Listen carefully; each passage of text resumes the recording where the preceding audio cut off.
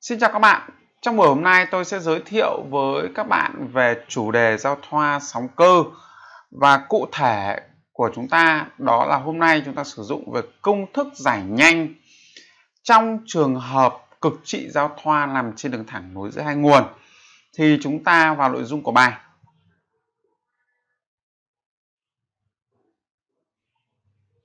Tại hai nguồn S1 và S2 trên mặt chất lỏng, cách nhau 8 cm có hai nguồn kết hợp cùng phương trình dao động là U1 bằng U2 bằng A cốt của 20 pt đơn vị là cm. Tốc độ truyền sóng trên mặt chất lỏng là 30 cm trên giây. Số điểm dao động cực đại trên đường thẳng lối giữa hai nguồn S1 và S2 là phần A là 5, phần B là 4, phần C là 6, phần D là 7. Như vậy là đề bắt chúng ta tìm cái cực trị giao thoa trên đường thẳng nối với hai nguồn và cụ thể, ở đây là cực đại. Mà đề cho chúng ta biết được rằng là hai nguồn này sẽ dao động với cùng phương trình. Vậy suy ra nó sẽ là hai nguồn cùng pha. Mà hai nguồn cùng pha thì chúng ta có công thức rồi. Đúng nhỉ? Thì chúng ta xét như sau là lambda thì bằng V nhân với 2pi chia cho omega thì ta tính ra bằng 3 cm. Cái thứ hai là vì hai nguồn cùng pha cho nên chúng ta có được là công thức xác định số vị trí hoặc là số điểm cực đại trên đường thẳng nối giữa hai nguồn là trừ S1 S2 trên lambda nhỏ hơn hoặc bằng K nhỏ hơn hoặc bằng S1 S2 trên lambda. À, ta biết được S1 S2 của đó là bằng 8 cm cái thứ hai, biết được lambda bằng 3 cm vậy chúng ta sẽ tìm được ra cái khoảng biến thiên của k. Là từ trừ 8 phần 3 cho đến 8 phần 3 vậy suy ra, k nó sẽ nhận là bằng 0 bằng cộng trừ 1 và bằng cộng trừ 2 vậy là số điểm cực đại trên đường thẳng nối giữa hai nguồn S1 và S2 chúng ta có 7 điểm và đáp án của ta đó là phương án D như vậy là chúng ta sử dụng cái công thức uh, giải nhanh xác định số điểm cực đại trên đường thẳng nối giữa hai nguồn thì chúng ta dễ dàng suy ra được cái đáp án của ta đó là đáp án D. Chúng ta sang ví dụ số 2. Ở bề mặt chất lỏng có hai nguồn phát sóng kết hợp là S1 và S2 cách nhau là 20 cm. Hai nguồn này dao động theo phương thẳng đứng, có phương trình lần lượt là U1 bằng 5 cốt của 40 pt đơn vị là mm và U2 bằng 5 cốt của 40 pt cộng với pi, đơn vị là mm. Tốc độ truyền sóng trên mặt chất lỏng là 80 cm trên giây. Hãy xác định số điểm dao động với biên độ cực đại trên đường thẳng nối giữa hai nguồn là S1 S2 là phần A là 11 phần B là 9 phần C là 10 và phần D là 8 À như vậy ở đây là đề nói là xác định số điểm dao động với biên độ cực đại trên đoạn S1 S2 nó giống như cái câu số 1 nhưng nó khác nhau ở chỗ này. Ở cái ở cái câu số 1 ấy, thì là hai nguồn dao động cùng pha. Còn ở đây là hai nguồn dao động ngược pha đúng nhỉ vì là hai nguồn dao động ngược pha cho nên cái số điểm dao động cực đại của nó sẽ được xác định theo biểu thức đó là trừ S1 S2 trên lambda trừ đi 1 phần 2 nhỏ hơn hoặc bằng K nhỏ hơn hoặc bằng S1 S2 trên lambda à, trừ đi 1 phần 2 Đấy. Như vậy là theo đề bài thì S1 S2 bằng 20 cm. Đúng nhỉ? Đấy, bằng 20 cm. Cái thứ hai là uh, chúng ta cần phải xác định lambda. Mà ta lại biết được rằng là như cái câu số 1 ấy đề cho biết omega cho biết v vậy ta tìm được ra lambda. Đúng không nhỉ? Thì từ đấy chúng ta sẽ tìm được ra cái số điểm cực đại của nó thông qua giá trị k. Đơn giản rồi. Thì chúng ta có như sau. Đó là bước sóng thì được xác định theo biểu thức là lambda bằng v nhân 2pi chia omega. Thay dữ kiện từ đề bài vào cái công thức này thì ta tìm ra được là lambda bằng 4 cm đấy là xong cái ý thứ nhất. Ý thứ hai là chúng ta có delta phi bằng pi, vì ta có được là cái phi 1 bằng 0 phi 2 bằng pi, vì hai nguồn này dao động ngược pha nhau. Tại vì delta phi bằng pi thì hai nguồn dao động ngược pha. Khi hai nguồn dao động ngược pha thì số điểm cực đại trên đường thẳng nối giữa hai nguồn thì nó được xác định theo công thức này. Đấy, ta biết được S1 S2 đúng nhỉ? Là bằng. Ở đây chúng ta có bằng 20 ta biết được lambda là bằng 4 vậy chúng ta thay vào đây thôi. Khi ta thay được thì ta tính được ra của nó là giá trị k biến thiên từ trừ 5,5 cho đến 4,5 nhưng ở đây chúng ta lưu ý một chút là như thế này là k là nhận giá trị nguyên. Đấy, có nghĩa là nó nhận giá trị là trừ 5, trừ 4, trừ 3, trừ 2, trừ 1, 0, 1, 2, 3, 4. Đấy. Vậy là nếu mà chúng ta đếm như vậy thì chúng ta sẽ tìm được ra là tổng cộng số điểm dao động với biên độ cực đại trên đoạn thẳng nối giữa hai nguồn F1 F2 là 10 điểm. Đấy.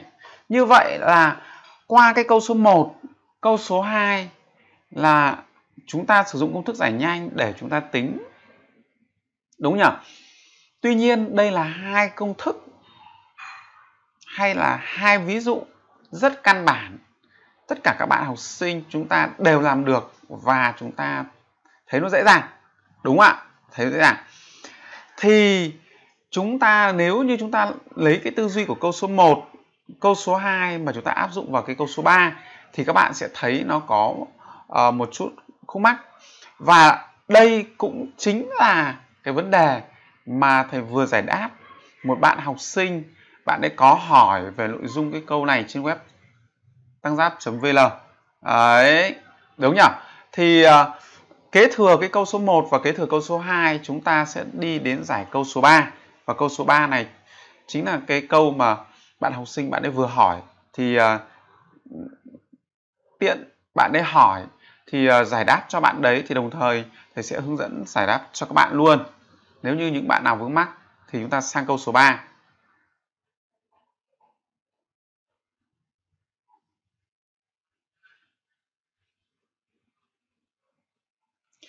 Giao thoa ở mặt nước với hai nguồn kết hợp đặt tại A và B.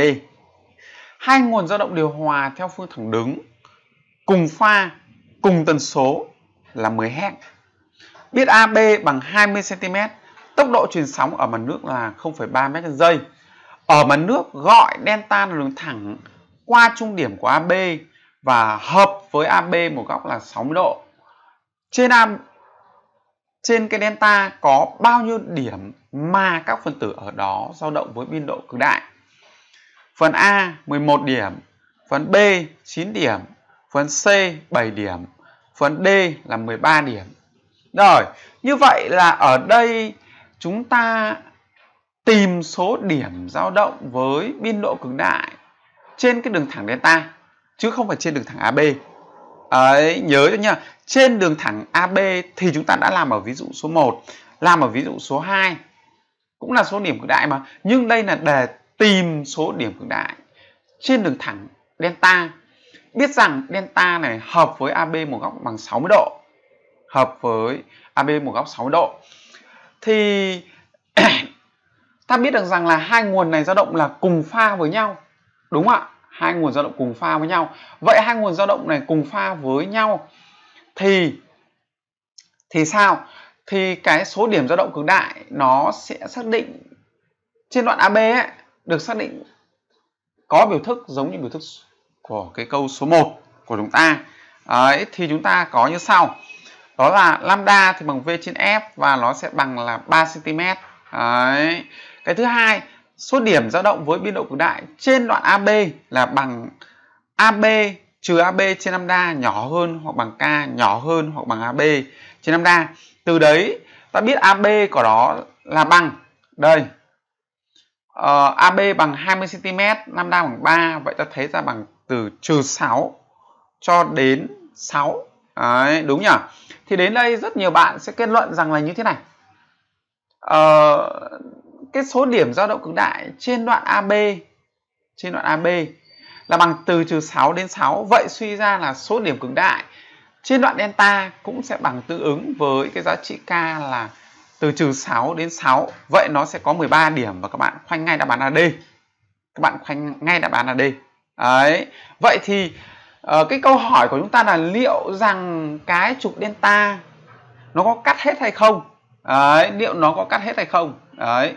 Nếu như cái trục delta nó mà nằm gần như với cái hệ số góc alpha rất nhỏ đây nó giả sử nó sẽ kẻ như thế này. Đấy, thì có thể nó sẽ cắt hết là từ trừ 6 đến 6 Vậy là suy ra số delta Số điểm cực đại trên đoạn delta Sẽ là bằng 13 Nhưng ở đây nó còn phụ thuộc vào số góc. À, Cái hệ số góc Hệ số góc này. Ừ. Nếu như cái Thầy lấy giả sử Giả sử, Như cái trục delta này mà cái hệ số góc của nó bằng 9 độ Thì nó dựng ngược như này, Thì rõ ràng nó sẽ không cắt AB ở một điểm nào Các bạn đồng ý không nhỉ? Nó không cắt AB ở điểm nào Vậy thì cái số góc của nó càng nhỏ dần thì số điểm cực đại trên trục delta sẽ càng tăng dần. Đúng không? Số điểm cực đại trên trục delta sẽ càng tăng dần. Đấy. Vậy suy ra chúng ta nếu dựa vào dữ kiện như thế này thôi thì chúng ta không thể kết luận ngay được rằng là số điểm cực đại trên trục delta là sẽ luôn bằng 13. Đấy. Vậy chúng ta cần phải tính thêm cái hệ số góc 60 độ này vào.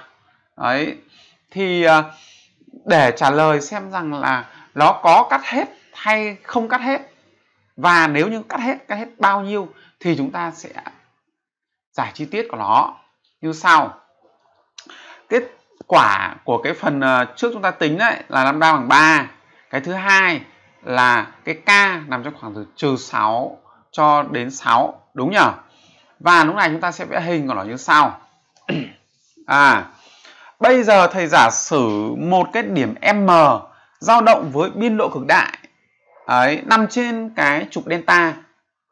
Biết rằng delta hợp với cái trục AB một góc bằng 60 độ.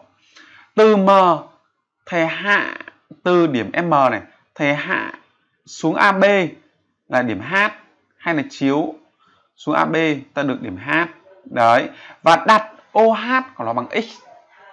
Từ hình vẽ thì ta thấy rằng là cái OH của nó là bằng x. Các bạn đồng ý nhỉ? OH bằng x. Vậy thì chúng ta sẽ tìm được ra cái MH MH thì ờ, biết cái góc này bằng 6 độ rồi thì chúng ta sử dụng cái công thức tang thôi. Tang thì bằng đối trên kề vậy là MH chia cho OH mà biết OH rồi biết tang 60 độ rồi mà ta biết rằng là tang của 60 độ bằng à, căn 3 đúng nhỉ? Vậy thì từ đây chúng ta suy ra MH của nó sẽ bằng là x nhân với căn 3 rồi xong MH rồi nhé. Cái thứ hai là nó thấy là như này. Vì cái điểm M là một điểm dao động với biên độ cực đại trên trục delta vậy suy ra là cái điểm M này đấy suy ra cái điểm M này nó sẽ thỏa mãn điều kiện là AM trừ đi MB sẽ bằng K lambda. Vì hai nguồn dao động cùng pha mà. Đấy. Vậy thì từ đây chúng ta có được là như sau. MA này, các bạn để ý này. MA thì có phải là bằng MH tức là MA bình thì sẽ bằng MH bình cộng AH bình, đúng không ạ?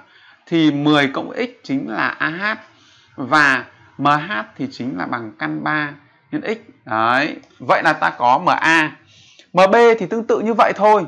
MB chính là cái đoạn này. MB thì sẽ bằng là HB bình cộng với MH bình.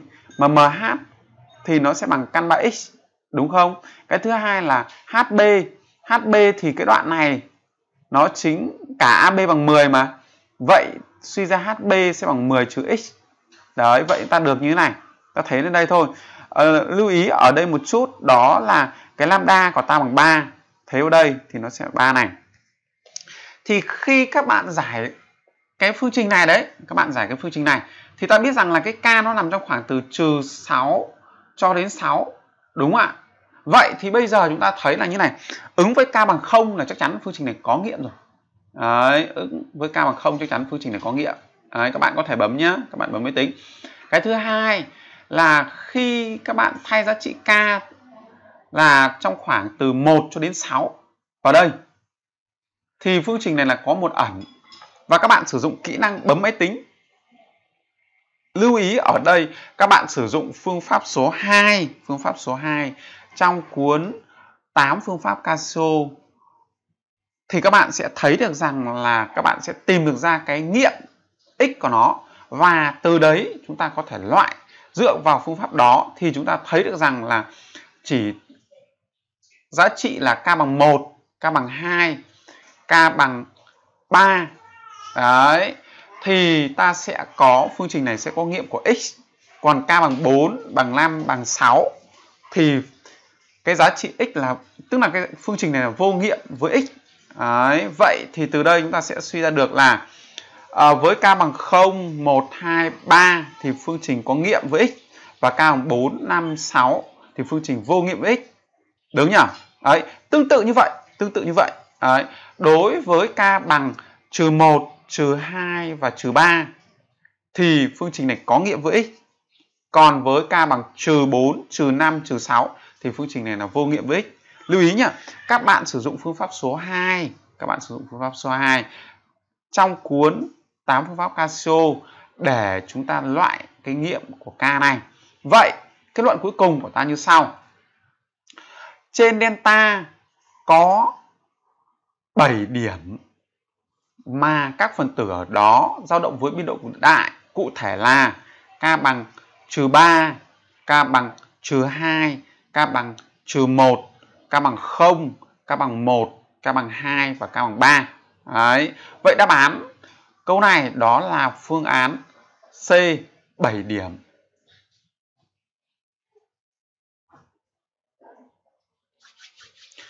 Thì qua video này, qua video này thì chúng ta thấy được rằng là uh, đối với cái kiến thức giao thoa của sóng cơ là một kiến thức khá hay. Và khi các bạn kết hợp với máy tính thì các bạn có thể giải cái bài toán dạng giao thoa được thuần thục hơn hiệu quả hơn và chính xác hơn. Ở video đến đây là kết thúc. Cảm ơn các bạn và các em đã theo dõi. Hẹn gặp lại các bạn và các em ở video tiếp theo. Xin chào.